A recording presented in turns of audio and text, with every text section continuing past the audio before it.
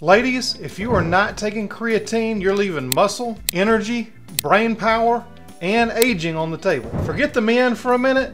This is why women need creatine the most. And I'm going to break it down by age group because what creatine does in your body at age 20 is a whole lot different than what it does at age 40, 50, 60, 70, or 80. So ladies, I'm going to share with you the benefits of creatine.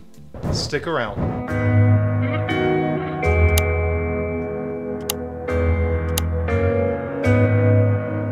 Creatine has been stuck in the Gym Bro supplement aisle for years. 30 years at least that I know of.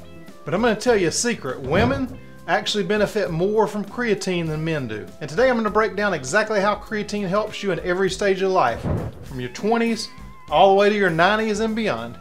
Plus, I'll let you know how much to take, when to take it, and a lot of the myths that are going around about creatine that just aren't true. So before we get into the age groups, let me break down exactly what creatine does. Creatine helps your body make ATP, which stands for adenosine triphosphate. That's your body's energy currency. And it doesn't just build it in your muscles, it builds it in your brain too. So creatine helps with strength, muscle tone, energy, recovery, mood, cognition, hormone support, and it helps you to age gracefully. And here's the secret twist. Women have naturally lower creatine stores than men do. So adding creatine isn't optional, it kind of fills the gap. Let's dive into what it means for each age group. So women in their 20s are kind of in the foundational years. It's going to help with faster recovery for workouts. It's going to help with more lean muscle and don't worry about getting bulked up like Arnold Schwarzenegger. It won't do that. You're going to have better cognitive performance and you're going to have better mood stability. It's going to help prevent overtraining fatigue if you're working out in the gym. It's also going to help keep hydration inside your muscles.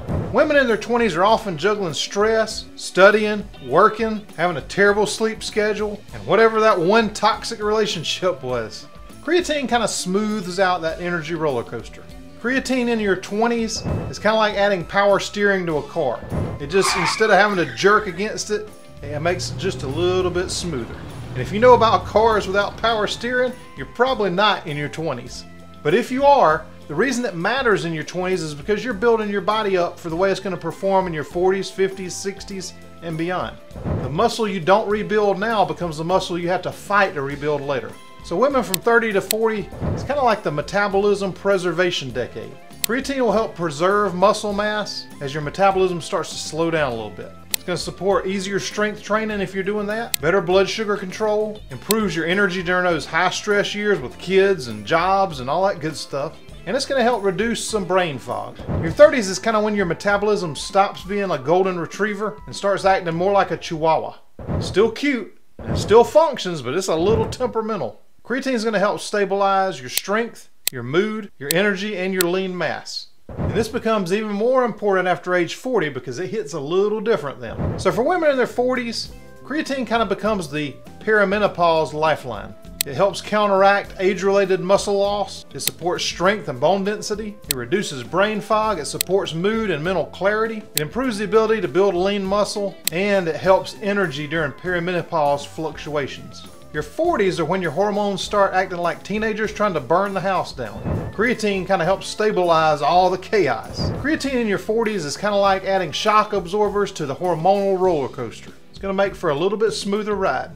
This decade is critical because your muscle loss accelerates and the creatine is going to slow that decline dramatically. But don't worry, if you didn't start it in your 40s, it's never too late. Your 50s could be like the menopause mitochondrial rescue mission. Once menopause hits, your estrogen takes a nosedive, and that has major metabolic consequences. Creatine is going to help improve muscle retention, bone density support, in combination with strength training, of course, brain energy, mood, memory, fatigue, and even recovery. It's going to help all those things. In your 50s, creatine becomes your metabolic insurance policy. The house is still standing, but the walls need a little bit of reinforcement. Think of creatine as like a retaining wall. It keeps your muscle, your brain, and your energy from just sliding downhill. Now guess what? Ladies, in your 60s and over, creatine is your longevity powerhouse. This is actually where creatine shines the brightest. It reduces sarcopenia, which is age-related muscle loss. It improves balance. It helps prevent falls. It supports brain function, memory, and cognition boosts your energy and it can help you maintain your independence. Creatine after 60 is not about looking toned. It's about staying strong enough to live the life that you want to live. It's the difference between needing help getting out of a chair and being able to dance at your grandkid's wedding. It's that powerful. Creatine is one of the most studied, most effective, and safest supplements for older adults. There's a ton of research that's been done on this. So now, how do you take creatine? You're gonna take three to five grams a day. One scoop of this, which is my company's creatine, is five grams. You could take a little bit less if you want to, and you do not need to load it. You don't need to take more for a couple weeks. Just start with that dose and it builds up in your body. As far as the timing goes for women, the timing really doesn't matter, except you wanna wait about an hour after you have any kind of caffeine because it may affect this absorption. You can have it with food, you can have it without food, whatever works best for your schedule. You can mix it into just about any kind of drink you have, except, like I said, stay away from the caffeine for about an hour. The best timing is whatever timing you can be the most consistent with it with. And creatine monohydrate, which is what's in inner strength, is definitely the best. The best way I can explain it is for women, creatine works like filling the gas tank in your car.